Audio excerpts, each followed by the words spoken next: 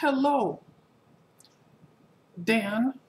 This is the church lady. I've come here today to wish you a happy birthday. I remember you watching the church lady. Do you remember me watching you watch me, the church lady? Well, this is the first time I've ever made a, a an individual plea, plea bargaining for a special person's birthday. Now, I hope that you are not going to go out and get drunk and wild and crazy because I need you to be not have a hangover Sunday morning in church. I don't want you falling off the kneelers, falling asleep.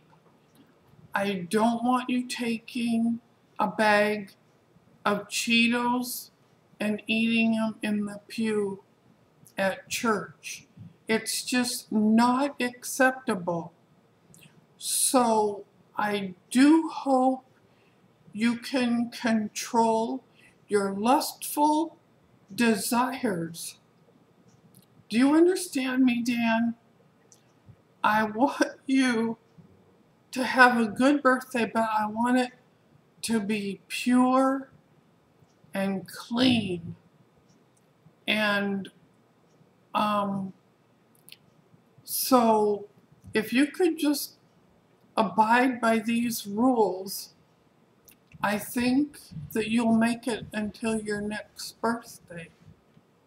So, um, for now, I want you to be sure and know that you're very special person in my life.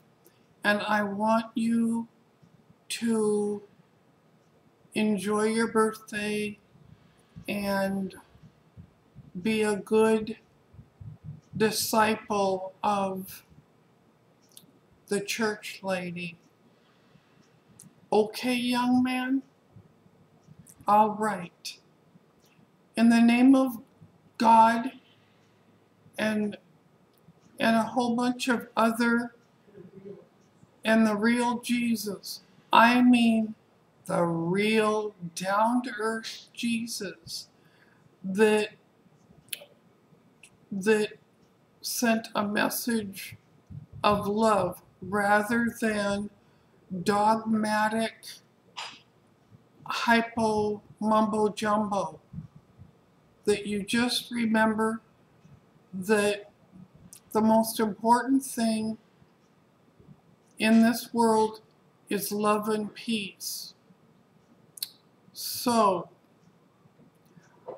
um, Take care of yourself, and we will talk very soon.